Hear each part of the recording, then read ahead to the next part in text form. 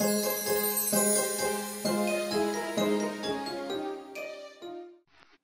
a todos, hoy os voy a enseñar cómo hacer este servilletero, cómo decorarlo. La plantilla la dejo en mi blog y lo único que hay que hacer después de recortarlo, como veis tiene aquí unos cortes, aquí abajo y aquí arriba y lo único que hay que hacer es girarlo y meterlo uno por encima del otro, hacer que coincidan las dos ranuras y listo, ¿vale?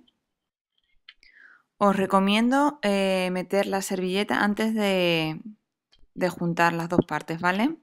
O sea, se pone en el centro y luego ya se cierra. Para decorarlo voy a utilizar cartulina roja y este troquel para hacer los, ah, los circulitos, porque no tengo otro tipo de troquel que haga los agujeros así, ¿vale? Son de dos tamaños y se echa un poquito de pegamento y se va pegando encima de las gotitas de pegamento los circulitos de, cartulina roja, ¿vale?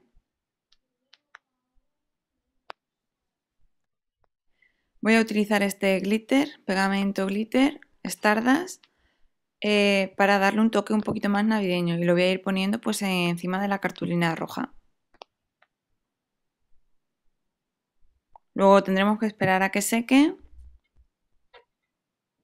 para utilizarlo.